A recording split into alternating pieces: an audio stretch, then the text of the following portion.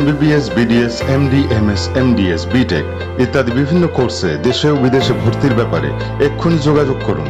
Infinity at eight four two zero nine six seven nine nine nine নমস্কার। যুক্তি, তর্ক, সঙ্গে অর্কই আপনাদের স্বাগত। আপনাদের সঙ্গে আমি অর্কপ্রভ সরকার। সবাইকে শারদোৎসবের প্রীতি ও শুভেচ্ছা। ভালো থাকবেন, সুস্থ থাকবেন।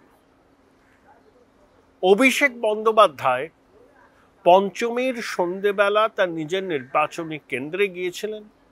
বস্ত্র বিতরণ করেছেন বোধহয় উদ্বোধনও করেছেন। বলেছেন, পরের বছর থেকে ডায়মন্ড হারবারের মানুষের বাড়ি বাড়ি উপহার হিসাবে তিনি শারদোৎসবের আগে নতুন কাপড় পাঠাবেন। খুব ভালো কথা। এবং এটাও বলেছেন যে ডায়মন্ড হারবারের মানুষকে পুজোর উপহার পাওয়ার জন্য কোনো রাজনৈতিক মঞ্চে আসতে হবে না। তিনি ডায়মন্ড হারবারের প্রত্যেকটা পরিবারের জন্য পুজোর উপহার নিজে থেকে পাঠাবেন। এটা যেন কেউ দান মনে না করেন, এটা যেন মানুষ তার উপহার হিসাবেই দেখেন। সেখানে তিনি আরও একটা কথা বলেছেন যে কিছু আবর্জনা আছে সেগুলোকে বার করতে হবে। দেখুন, উনিশশো সাল থেকে দু নয় টানা এতগুলো বছর বামপন্থীরা ডায়মন্ড হারবার থেকে জিতেছিলেন। দু সালে তৃণমূলের প্রার্থী হিসাবে সোমেন মিত্র জেতেন, তারপর দু হাজার চোদ্দ উনিশে অভিষেক বন্দ্যোপাধ্যায় জেতেন। তাহলে আবর্জনাগুলোকে বার করে দিতে হবে, কয়েকটা আবর্জনা আছে। এটা কি বিরোধী দলের কথা বলছেন? বিরোধী বাম, কংগ্রেস বিজেপি, আইএসএফ এর কথা বলছেন? শোনা যাচ্ছে নওসাদ সিদ্দিকে ডায়মন্ড হারবারে প্রার্থী হতে চান।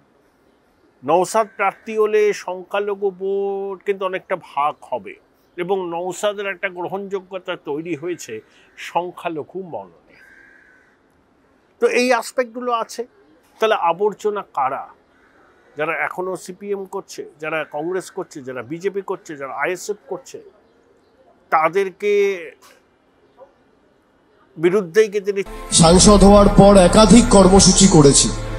প্রত্যেকটা সমাবেশ আগের সমাবেশকে ছাপিয়ে গেছে।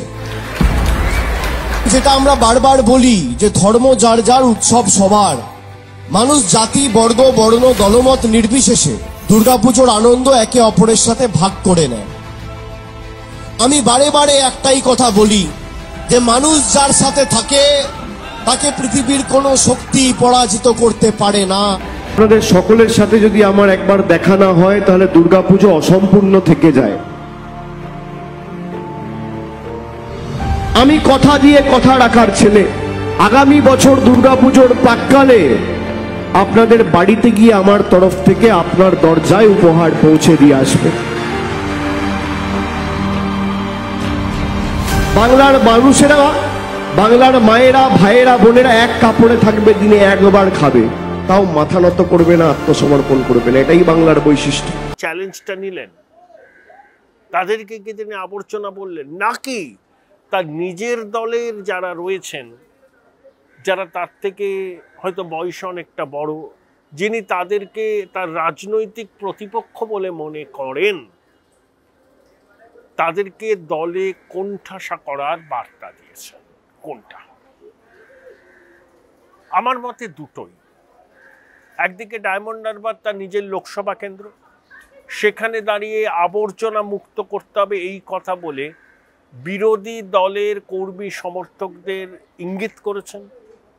একই সঙ্গে তিনি ডায়মন্ড হারবারের জন্য কি কাজ করেছেন তার ফিরিস্তি দিয়ে বলেছেন যে স্বাধীনতার পর থেকে দু সাল পর্যন্ত ডায়মন্ড হারবারের উন্নতিতে কিছুই হয়নি।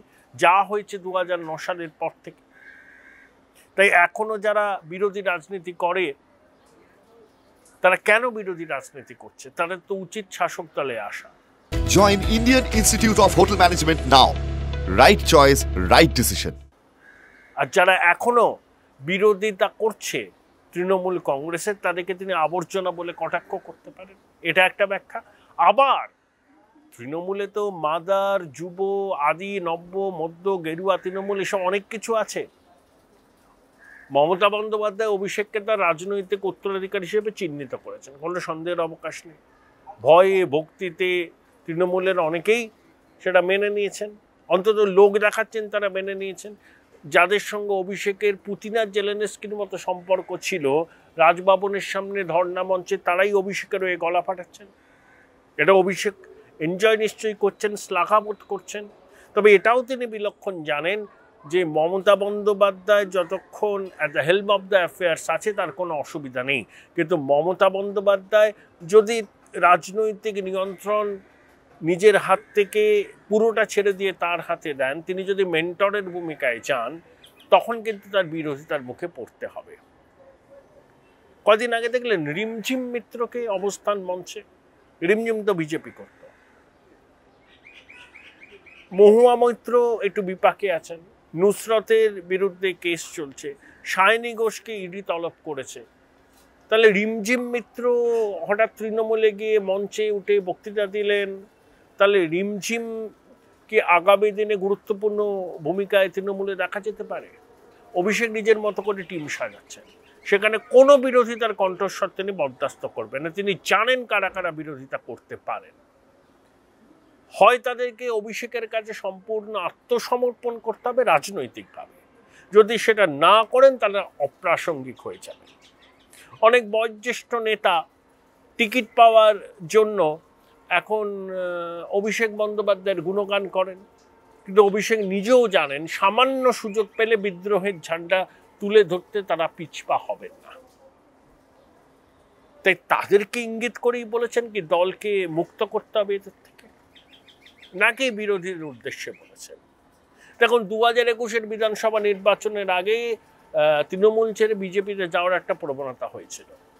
আগামী দিনে যদি ইডি, সিবিআই এর জোর কদমে অভিযান হয়, তখন অনেকে আবার নতুন করে শিবির বদলাবেন। না, এই গ্যারান্টি কেউ দিতে পারে না। তখন তো তৃণমূল তাদের গদ্দার বলবে তার কাছে হয়তো খবর আছে কারা কারা শিবির বদলাতে পারেন, কারা কারা বিজেপির সঙ্গে গোপনে যোগাযোগ রাখছেন। হয়তো তাদেরকে তিনি আবর্জনা বলে চিহ্নিত করেছেন। খুব ইন্টারেস্টিং মহাপঞ্চমীর বিকেলে শারদোৎসবের সূচনা লগ্নে নিজের নির্বাচনী কেন্দ্রে গিয়ে অভিষেক যে কথা বলেছেন, সেগুলো খুব তাৎপর্যপূর্ণ। এবং আগামী দিনে রাজনীতির গতিপথ যেভাবে পরিবর্তন হতে হতে যাবে, অভিষেকের এই বক্তব্যের তাৎপর্যও সেরকমভাবে আবর্তিত হবে বলে আমার মনে হয়। তাই এখনই তার বক্তব্যের অন্তর্নিহিত অর্থ কি, সে বিষয়ে শেষ কথা বলার সময় কিন্তু এখনও আসেনি।